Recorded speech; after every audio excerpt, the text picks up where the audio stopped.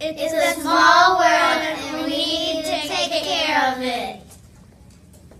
One way to take care of planet uh, is to recycle.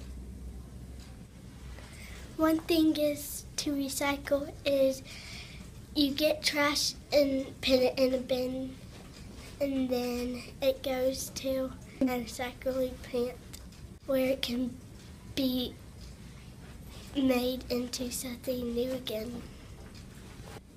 We can all recycle here at school. In our classrooms, we have paper recycling bins. And in our hallway, we can recycle cans and plastic bottles. You can bring your cans and empty water bottles and recycle them here at school. There are different materials that you can recycle. Plastic, paper, cans, styrofoam, and glass.